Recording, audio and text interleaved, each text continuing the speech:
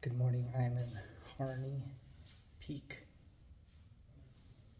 Lookout. This is also known as Black Elk Peak.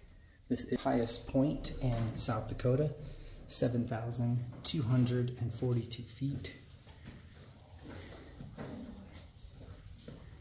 As you can see, pretty good view from here. About a 3.3 mile hike up. And there's the marker down there. But as you can see in the fire lookout tower definitely a good view. Not a bad hike. Took about an hour or so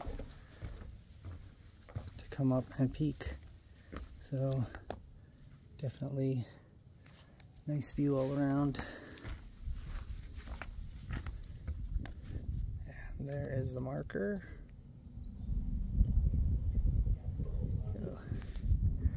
This is the highest one so far number 27